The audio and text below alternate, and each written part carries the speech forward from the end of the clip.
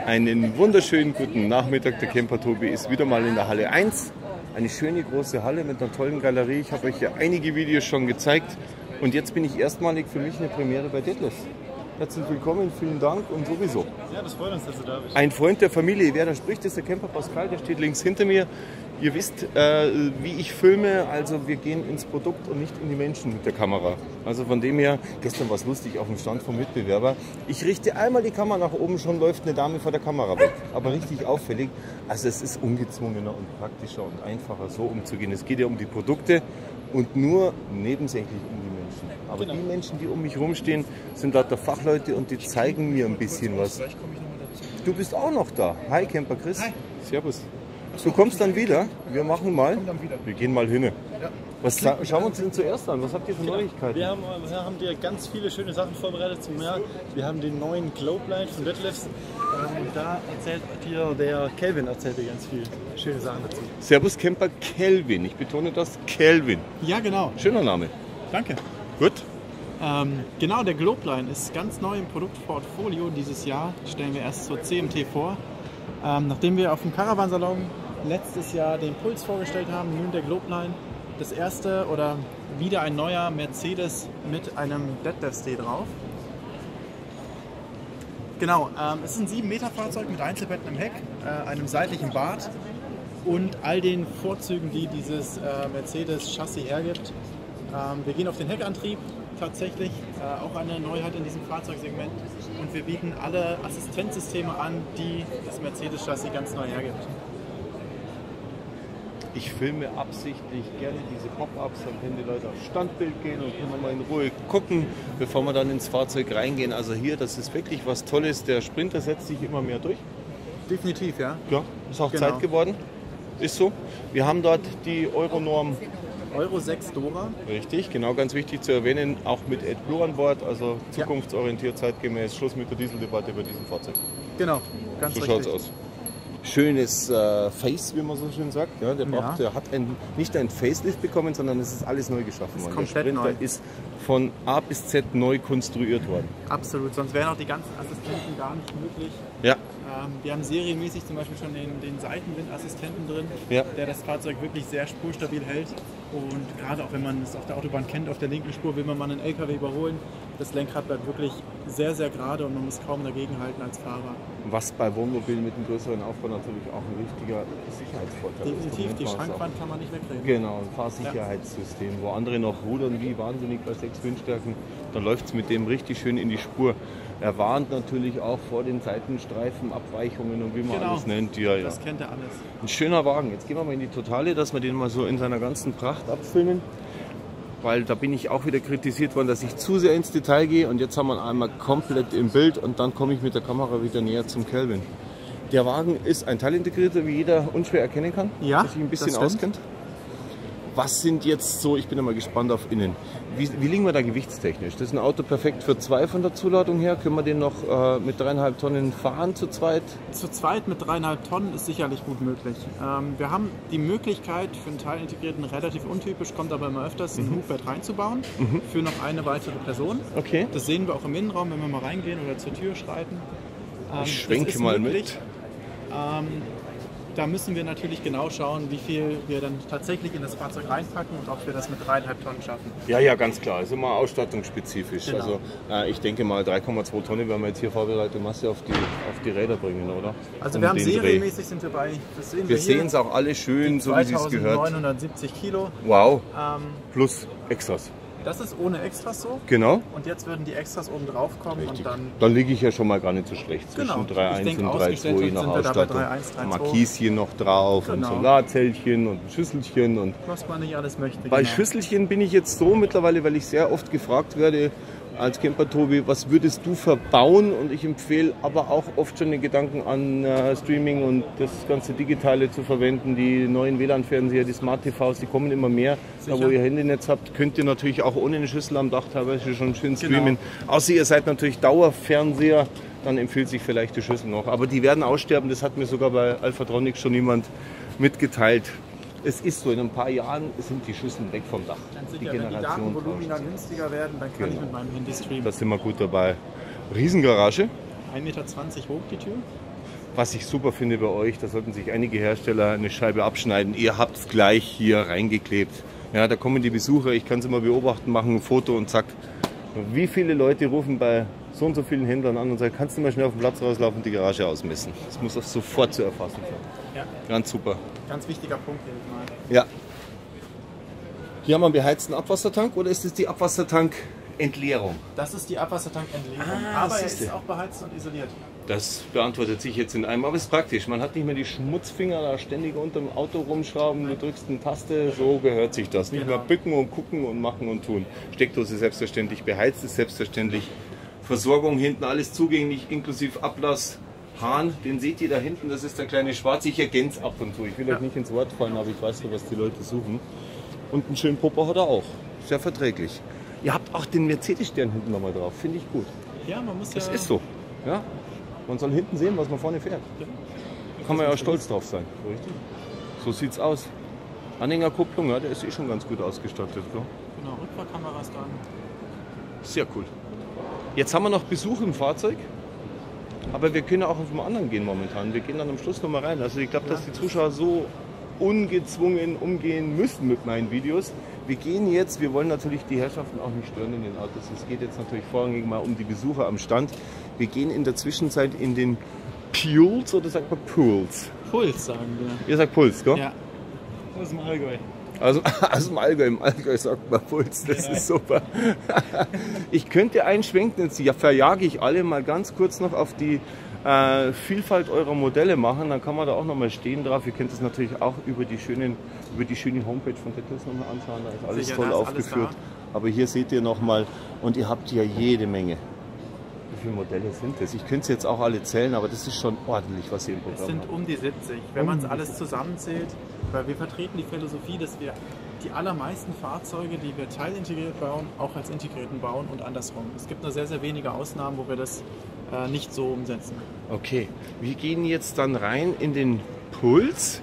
Der ist ja alles, was rot markiert ist, seht ihr hier auch auf dem Messestand, habe ich gerade abgelesen nebenbei. Und jetzt drehen wir uns um und gehen wir da mal rein. Der ist natürlich jetzt noch auf dem Fiat Ducato aufgebaut. Ja, genau. Ich meine, es ist natürlich ein Kostenfaktor, muss man ganz klar mal sagen.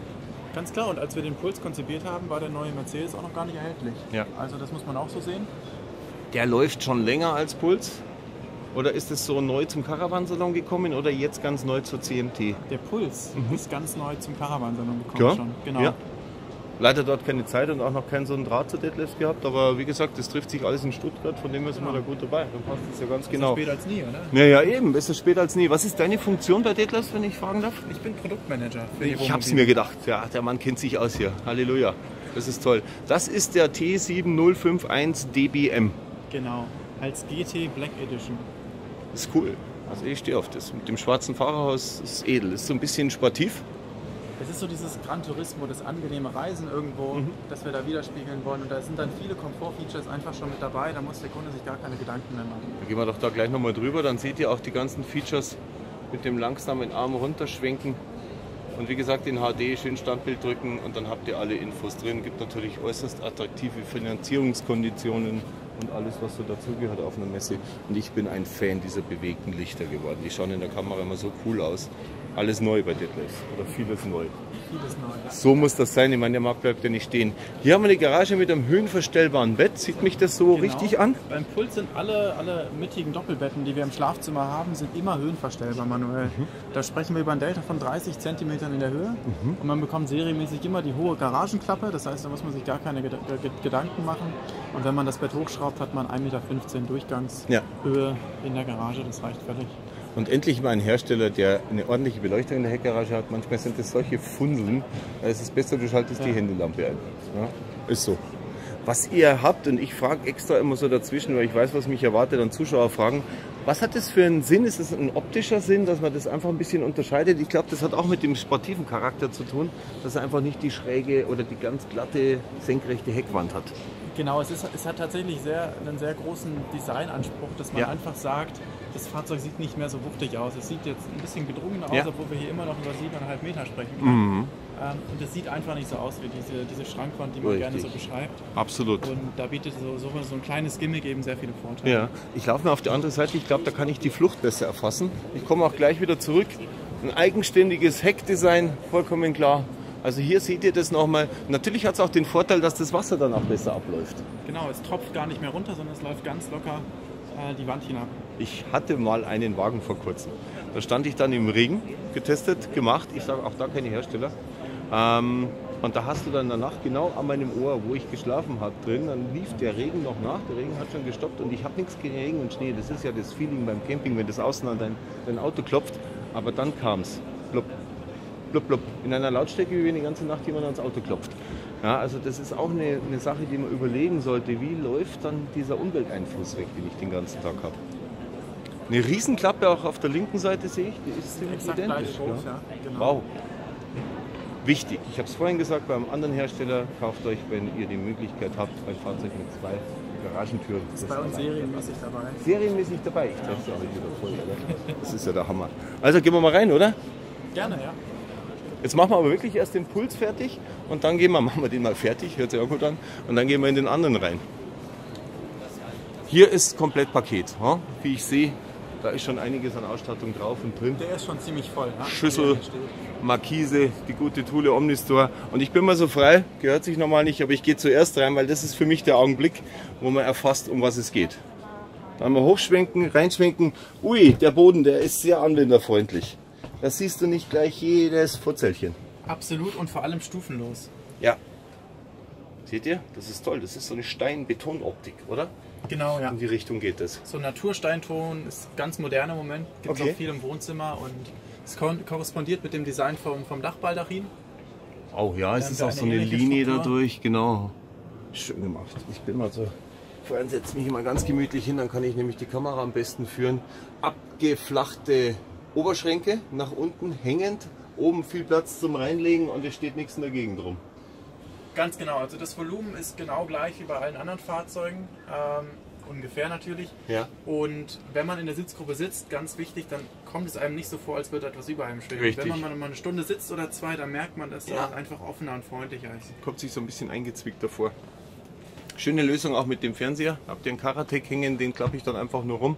Genau, Nach rechts zieht man raus, den 45 klappt man Grad. um. Genau. So haben wir eben die Möglichkeit, jetzt auch ein 32 Zoll Gerät unterzubringen. Früher war es immer, oder die- dieser hier ist jetzt ein 22 Zoll. Ja. Dann ist es natürlich etwas geschlossener, aber man hat den großen Fernseher an Bord. Mein lieber Schieber. Also meine Zeit bei Deadlifts, ich habe es ja gerade, wir haben einen Kaffee getrunken zusammen erzählt, die ist jetzt schon fast 20 Jahre her. Aber da merkt man erstmal, ja, was sich alles getan hat. Mein Gott, die Zeit bleibt nirgendwo stehen, der Fortschritt ist eingeläutet, aber das ist, äh, das ist schon mittlerweile ganz was anderes. Klar, es ist überall die Modernisierung der Fahrzeugtypen, die Geschmacksanpassung auf die Neuzeit. Aber Kompliment, das ist ein schönes Fahrzeug. Toll. Ich gehe nochmal auf den Tisch hin. Also, ihr seht auch, da hat man das wieder vom Boden ein bisschen übernommen. Genau, ein bisschen heller, aber Ja. man, man sieht, dass die Farbkomposition stimmig ist. Toll, auch mit dem Holz und nicht alles, nicht zu holzlastig, sondern immer diese Akzente gesetzt. Den großen Kühlschrank mache ich mittlerweile nicht mehr auf, den habe ich in ungefähr 500 Fahrzeugen schon vorgestellt. Ich gehe mal über deine Köpfe, ich filme die auch nicht an. Das machen wir eben nicht. Wir zeigen hier mal die ganze Bordelektroniksteuerung von Detlefs. Auch ein ganz eigener Stil und ich finde es toll, wenn man seinen Stil trotzdem treu bleibt. So, dann gehe ich mal in die große Küche. Da muss man eigentlich gar nicht mehr viel sagen. Ich glaube, das geht aus den Bildern super hervor. Steckdosen genug, sehe ich auf den ersten Blick. Auch sinnvoll angebrachte Schalter. Ja, ich kann hier direkt in der Küche schalten. Wenn ich ins Bett gehe, schalte ich hier die Front aus und dann gehe ich nach hinten. Haushaltslogik, sagt man dazu. Genau, ja. wir haben in diesem Fahrzeug ganz neu gemacht, haben wir die, Lichtkomposition einmal überarbeitet. Wir haben ja schon früher, und das, das kennt man ja auch so vom Markt, dass ganz viele indirekte Beleuchtungen verbaut werden, ähm, die immer gerne mal so ein Baldachin hinterleuchten und hier mal hinter den Dachschränken. Wir haben uns tatsächlich mal mit einer Lichtdesignerin zusammengesetzt und haben sie Mhm, ganz gefragt, ja, wie wichtig. macht man das eigentlich richtig? Ganz wichtig. Und dann hat sie uns erklärt, dass es eigentlich vier Lichtebenen gibt. Es Okay, gibt die funktionale Ebene, jetzt wird spannend für mich das auch. ist ganz einfach das Funktionslicht, was man braucht Ja. zum Kochen, zum Ja, Lesen, zum zum, Putzen, zum Essen. wie auch immer. Genau, das sind die ganzen Spots, die wir hier so haben. Die sind in jedem Fahrzeug serienmäßig drin. Ja. Ist gar kein Thema. Und dann wurde es spannend auch für uns, weil dann gab es diese, diese drei Ebenen, Mhm. die das Auge braucht, um sich einzuordnen im Raum. Weil ich meine, es ist ganz logisch, wenn ich jetzt aus einem hellen Raum komme und in einen dunklen Raum reingehe, dann muss ich das Auge daran gewöhnen, bis Genau ich dann so was sehe. Das kennen wir alle. Ja. Und diese Lichtebenen sorgen eben dafür, dass ich mit wenig Lichteinsatz diese Orientierung für das Auge herstelle. Ja. Und so gibt es eine Dachebene, eine Deckenebene, die wir hier mit diesem Baldachin darstellen. Ja. Es gibt eine Wandebene, wo eben Gardinen und Wände so ein bisschen beleuchtet werden. Und es gibt aber auch die Bodenebene, die, gan- die die ganzen Sitzsockel hier unten beleuchtet. Ja. Ja, das sehe ich jetzt auch zum ersten Mal in der Form, dass man wirklich bis in die Dinette reingeht. Genau, und eben auch durch die Küche und durch, ums, um, ums Bett rum hinten. Dadurch schwebt das Ganze auch so ein bisschen. Genau. Das macht das Ganze sehr, sehr luftig. Es ist im Grunde die ideale Dachbeleuchtung. Ähm, Nachtbeleuchtung, Nachtbeleuchtung, sorry, genau. Das wollte ich sagen. Ach, das geht mir den ganzen Tag so. Und ähm, so, so weckt man den Partner nicht, aber man sieht immer, wo die Kanten sind, die der kleine Zeh nicht unbedingt treffen möchte. Ja, eben, genau. Und das ist das ganz Wichtige. Und alles ist eben ganz bequem gesteuert aus der Küche, Ja. sodass man sich da abends die richtige Lichtstimmung zusammenstellen Super kann. cool. Auch am Eingang, ihr seht, das ist bis ins Detail alles. Bring dich nie drauf, alles gut. Wunderbar. Wie gesagt, das geht ja nur ums Produkt. Ihr habt ganz, ganz viele Dosen, das ist schon mal ganz wichtig. Für viele Leute so ein Knockout-Kriterium. Wenn ich im Schlafzimmer schon keine Steckdose finde, dann gehe ich einfach Das aus dem für mich Auto wieder genauso. raus. Das Geht brauche nicht. ich. In der heutigen Zeit, das Handy muss geladen werden, etc. Ah, das ist wirklich hübsch, mein lieber Schieber. Ihr macht ja so schöne Werksführungen, da muss ich doch mal nach Isny wieder Ja, kommen, oder? jeden Donnerstag. Oh. Außer es sind Feiertage oder so. Das ist mal ein interessanter Ausbau einer Schlafkeminate im äh, Queensbett-Grundriss. Habt ihr ordentlich breit, 1,60 Meter? Ne? Meter 60 breit, genau. Wie lang? 1,90 Meter. Aber durch den Keil da hinten, wie ich gerade sehe, auch mal durchaus zu verlängern, wenn man den hinten reinzwickt, dann kann Genau. das mal trotzdem ein bisschen vorrutschen Genau. für die Langen wie mich. Absolut. Also keine Angst vor Queensbetten, die kann man lang genug machen, so dass die Haxen nicht runterhängen auf gut bayerisch. Genau, da muss man erstmal schauen, ob da irgendwo noch der Keil liegt. Hallo, hallo, hallo. Ich schau mal erst jemand, ob da einer im Bett liegt. also hier seht ihr auch, die Ecken sind nicht so, so rund. Sie sind natürlich rund, aber man hat trotzdem die Beinlänge noch organisiert bei 1,60 Meter Breite. Das ist schön gemacht. Auch den Blick auf die freistehende Dusche auf der linken Seite. Freistehend ist sie jetzt in dem Sinne nicht, aber sehr locker angelegt. Jetzt nicht in, in irgendeiner Form über den Radkasten gezwickt, sondern frei zugänglich. Darf ich mal auch so ein Schränkle aufmachen? Schaut mal, da ist ordentlich Platz zum Reinhängen für alles. Das ist ja die komplette Roomtour. Wir wollten nur einen Teaser machen. Wie cool. Super. Freut mich. Natürlich könnte man jetzt auch, wenn man Lichtdesign technisch noch unterwegs ist, gleich noch die, die echte Emotion zeigen. Ja? Wir machen mal das Hallenlicht bzw. die zusätzlichen Lichter aus und dann seht ihr, dass das eine ganz kuschelige Ecke wird. Aber für die Messe ist es obligatorisch, dass man nochmal Zusatzlichter Da reinhängt. schalten wir die Sonne gerne ein, ja. Da ist die Sonne, die durchscheint, richtig. So, jetzt gehen wir durch. Selbstverständlich ist, dass ihr hier in Profilen Türen habt, wo ihr dann den Dusch- und den Badbereich als Ganzes herstellen könnt. Genau, und eben mit der, mit der Toilettenraumtür kriegen wir dann auch hier die Schließung, Die hin zur Küche hin. hin und haben das Raumbad für sich gestellt. Auch wichtige Sache zum Heizen in der Übergangszeit. Du musst nicht immer das Schlafzimmer mitheizen, sondern nur den Genau, vorderen Raum genau. heißt Gasverbrauch. Wir haben die Heizung auch in der Sitzgruppe untergebracht. Das bedeutet, ich habe nicht die warme Heizung Ja. unterm Bett, ja, was das ganz wichtig ist, sondern ich habe das da, wo es warm sein, sein muss, das ist wirklich in der Sitzgruppe. Genau. Und im Bett habe ich dann ein paar Grad weniger. Ja. Und das ist automatisch dieses Zwei-Zonen-Heizen. Meistens regelt man das nur mit einer Strangsperre zusätzlich, dann kann ich hinten eigentlich komplett wegschalten. Ja? Aber das ist je nachdem, wo die Heizung verbaut ist. In dem Fall sagst du Genau, vorne, dann brauche ich es nicht. Genau, da regelt sich von alleine. Ich bin mal so frei, ich möchte dich nicht loswerden, aber ich mache mal zu, um nur kurz den Charakter vom Bad einzufangen. Ihr seht also wirklich ein schönes großes Bad. Ich könnte hier auch problemlos auf die Toilette gehen mit meinen langen Beinen. Das ist ja immer hier so. Auch die Schränke, die Spiegel. Super, cool. Ein sehr, sehr schöner Eindruck. So, dann gehen wir zum nächsten. Ein Genau. kurzer Teaser, dann lassen wir die Herrschaften wieder herein. Vielen Dank erstmal. Und jetzt gehen wir in das Auto. Dankeschön. Jetzt gehen wir in den Globeline, den wir vorhin schon angeteasert haben. Ich spiele mir mal wieder mit dem Licht rum. Und Garage hatten wir schon. Wir haben vorhin kurz hier gestoppt, weil noch äh, Interessenten den Vortritt hatten. Und jetzt gehen wir mal in dieses wunderschöne Auto zur Auffrischung nochmal vor. Das ist der auf dem neuen Sprinter. Und da steht es auch nochmal drauf. Jetzt gehen wir hineintauchen. Wie breit ist der? Das Fahrzeug ist Ja. 2,33 Meter breit. 2,33. Der war auch 2,33. Genau. Also ihr baut auch einen schlanken noch mit? Wir bauen auch einen, der heißt bei uns Globe Bus, nicht Globe Line. Stimmt, das war der Globus. Und der ist 2,20 Meter breit. Genau, den gibt es ja auch schon länger, das Genau, Globus-Format, das hat sich vor Jahren schon etabliert, das kenne ich genau. Aber heute geht es um die Neuheiten. Deswegen gehen wir jetzt, auch der gleiche Boden, stelle ich gleich wieder fest, jetzt in den Sprinter. Wie gesagt, Basispaket Sprinter machen wir nochmal in Ruhe. Da werden wir demnächst auch mit Mercedes in München was machen. Den werde ich mir mal zwei Tage holen.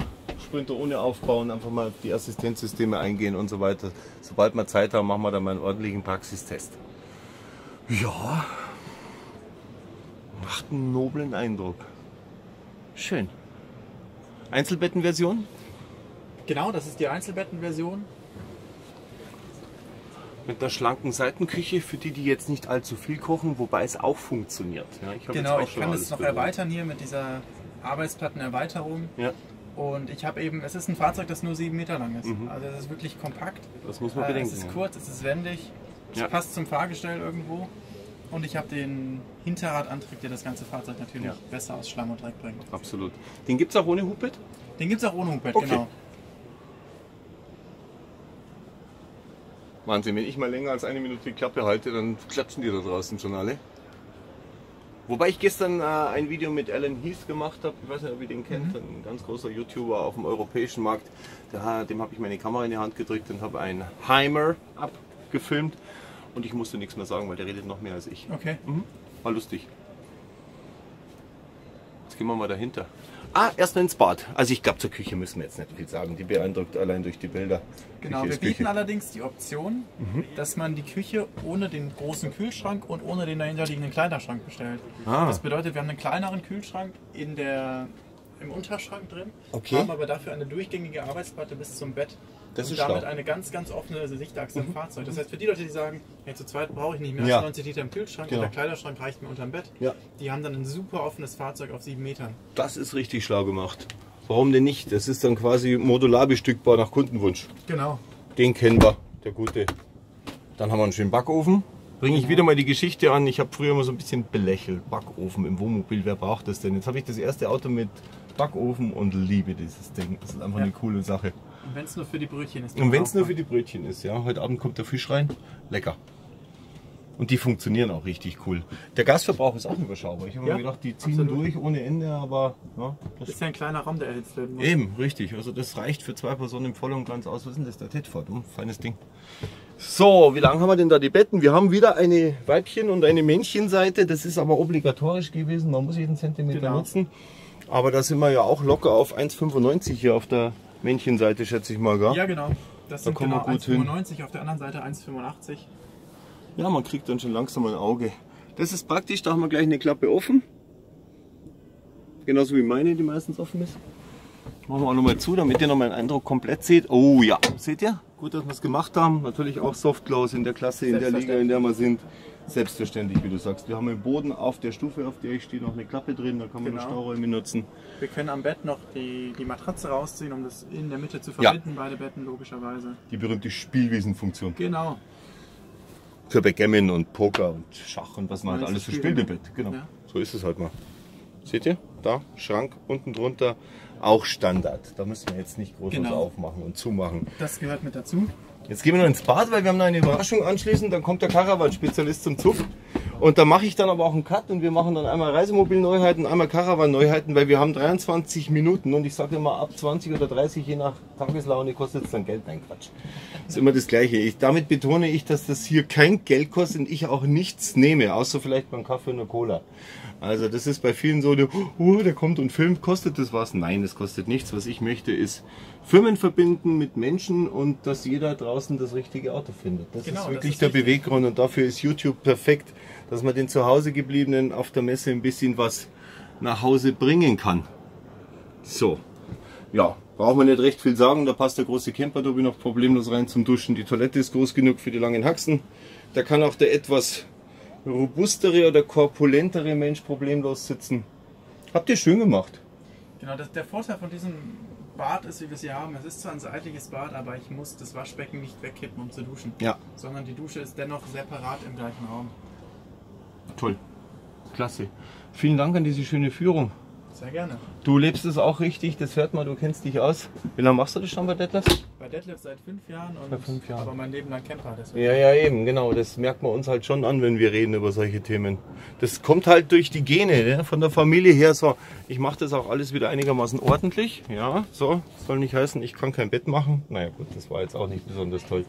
Also, machen wir mal einen Break bei Detlefs, ein Freund der Familie. und wieder auf den grünen Teppich hinaus. Und gleich gibt es die nächsten Neuheiten. Danke recht schön aus der Halle 1 am Detlef-Stand. Ein Freund der Familie. Übrigens, äh, Kompliment. Ich bin Profischleimer, sage ich immer. Der Stand ist mega cool gemacht. Erstens riesengroß und zweitens schön. Ihr habt überall das Holz aufgenommen. Das Allgäu wird überall wieder gespiegelt. Man hat rundum ein mega Panorama. Ja, das ist mir aufgefallen am Aufbautag. Also es sieht gleich jeder, wo er ist, als Freund der Familie. Servus, bis bald aus der Halle 1. Jetzt gibt es die Caravans von Detlefs. Servus, der Camper Tobi. Tschüss, tschüss.